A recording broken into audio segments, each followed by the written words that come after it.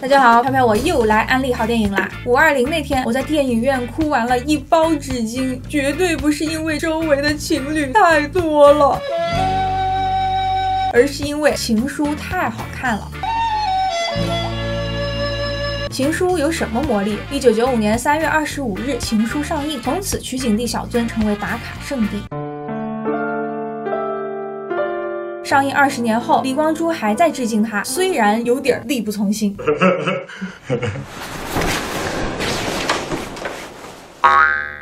直到今天，依然有无数人愿意为《情书》补一张电影票，但也有不少人说，长大后越来越不敢看《情书》，男主太渣，对未婚妻不公平。今天飘就来跟大家聊聊《情书》的真正含义。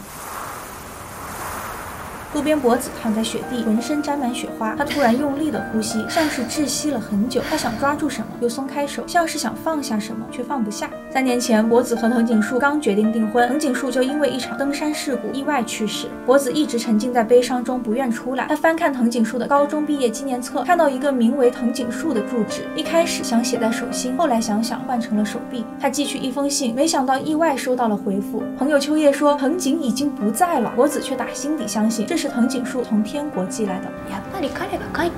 给博子回信的藤井树其实是个女孩子，她和博子长得一模一样，和男藤井树是高中同学。え、藤井樹。はい。同姓同名か。因为同名同姓，试卷发错，老师认错。藤井，お前なんでここにいた？好，班里的同学免不了要开玩笑。 所以两个藤井树一开始就互相看不顺眼，女树和男树就算隔着半个教室，也不会正对着他说话，而是下意识移开视线，只有在没人的时候，才敢毫无顾忌地投去目光。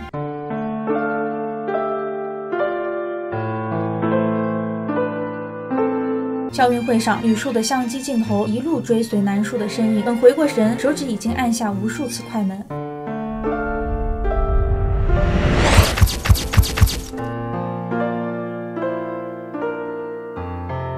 他在拍什么，他却假装找不到按键。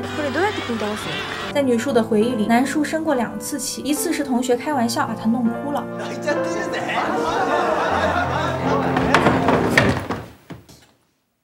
另一次是女树给他介绍其他人当女友。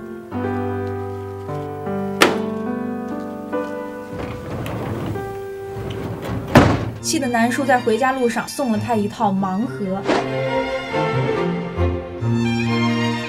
车棚是情侣的约会圣地，在这里，女树等着男树向她要回拿错的英语试卷。男树上课时毫不用心的在试卷上涂鸦，这时却认真起来，在淡淡的灯光下对起了答案。尽力拉长只属于两人此刻的夜色。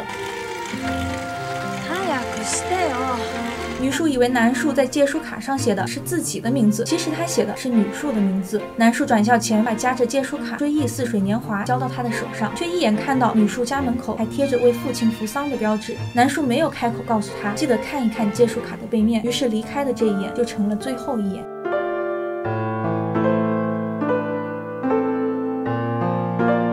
有人说情书的暗恋是最美的境界，欲说还休，将名未明。也有人说这不是治愈系，这是治愈系。如果我是博子，发现自己和未婚夫的初恋长得一样，我还会觉得这爱情很美吗？如果只有爱情，那情书充其量是部二流青春片，无法成为经典。电影在爱情线以外探讨的其实是生死与和解。吕克贝松说，电影不是济世良药，它只是一片阿司匹林。而岩井俊二不求药到病除，也不求快速止痛，他要做的是一次心理疏导。博子没有勇。气去见和自己长得一样的女树，秋叶却坚持带她去南树遇难的地方。南树的登山队友告诉他们，树去世前唱的最后一首歌是松田圣子的《青色珊瑚礁》。秋叶和博子都很惊讶，他们从来都不知道南树原来喜欢这首歌。博子终于醒悟，原来每个人所知道的藤井树都只不过是他的一小部分而已。自己执着的想知道他所有的过往，但那已经是不可能的了。第二天太阳升起，秋叶把博子叫出来，指着远处的山，告诉他藤井就在那里。博子一遍又一。便问你好吗？死去的人再也不会发出回音，而活下来的人终于能够坦然地回答：我很好。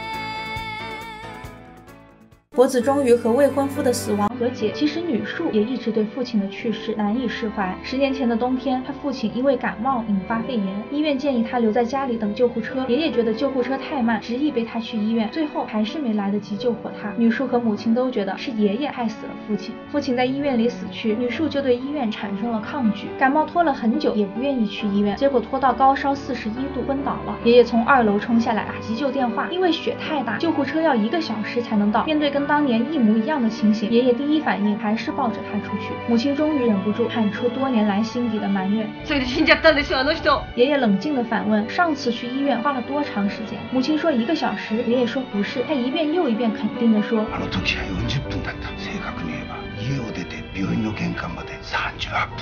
在儿子去世后十年里，从家门口到医院的路，爷爷究竟用脚丈量了多少遍，才敢这么肯定地说出那个数字？这一次，七十六岁的爷爷背着孙女在雪地奔跑，不小心一头栽进雪里，又爬起来往前冲，爷爷累倒了。但这次女树及时被救治，一家人终于解开十年的心结，也放下了对父亲死亡的执念。以前，女树对爷爷总是爱理不理，母女俩说话，爷爷像空气一样。现在，女树终于愿意主动跟爷爷聊天。母亲原本坚持从老房子搬出去。现在他决定尊重爷爷的想法，在这个充满回忆的家里一直住下去。女树出生那年，爷爷在院子里种了一棵树，也取名叫树，希望孙女可以跟这棵树一样成长。但他从来没告诉过任何人，只是默默地守护着树。他很清楚儿子的死不是自己的责任，但是面对母女俩多年来的误会和埋怨，他一次也没有为自己开脱。直到解开心结，爷爷才告诉孙女树的存在。情书的情从来都不只是青春期朦胧的爱恋，也有爷爷对孙女静默而深沉的爱。这一点从情书的小说就能看出，封面是一只冻死在雪中的蜻蜓，就像死去的男藤井树和女树的父亲，他们并没有消亡，而是在生者的回忆里永存。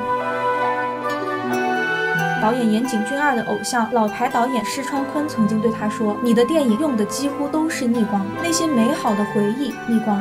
南树的忌日也是逆光，博子翻看南树的遗物还是逆光。”岩井俊二把残酷营造出唯美的幻觉。他说：“青春就是什么都没有发生的日子。换种说法，青春是不分好坏、不分快乐与痛苦的日子。”岩井俊二的治愈更多是自愈，他做的只是引导，引导我们面对伤痕，接受残酷，也终于获得生的勇气，看见残酷里的美好。